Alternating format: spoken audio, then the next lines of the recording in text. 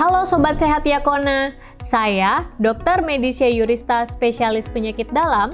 Selamat datang di program Sehat Bersama Ahlinya.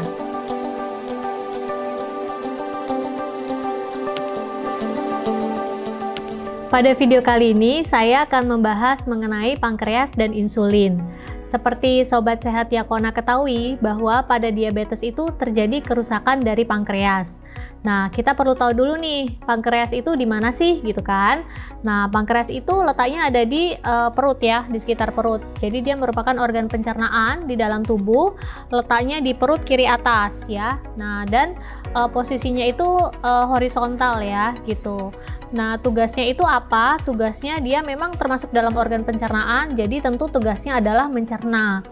Nah, tugasnya si pankreas ini dia uh, memiliki fungsi yang namanya fungsi eksokrin dan fungsi endokrin. Tapi nggak usah pusing ya, intinya dia itu mengeluarkan enzim ya, enzim untuk mencerna uh, dari zat-zat di dalam tubuh. Di antaranya, di antaranya enzim amilase, lipase, dan juga tripsin. Amilase ini untuk mencerna karbohidrat, lipase untuk mencerna lemak, dan juga tripsin untuk mencerna protein.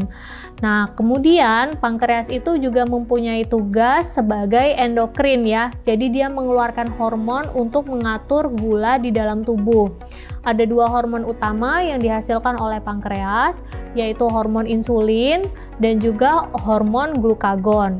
Yang mana mereka ini punya tugas masing-masing yang uh, cukup apa ya, memang kontra ya gitu. Jadi insulin ini bertugas untuk mengendalikan gula darah kalau gulanya terlalu tinggi. Jadi nanti sama si insulin dinormalkan gulanya. Nah, kalau si glukagon dia malah meningkatkan gula darah. Jadi pada saat gula darah di dalam tubuh rendah, itu tugasnya hormon glukagon dia meningkatkan gula darah di dalam tubuh gitu ya. Jadi mudah-mudahan di sini sobat sehat Yakona paham ya untuk tugasnya si pankreas dan juga letaknya pankreas gitu.